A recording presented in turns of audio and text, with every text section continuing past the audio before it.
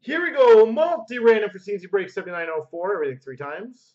One, two, three. Oilers win that one.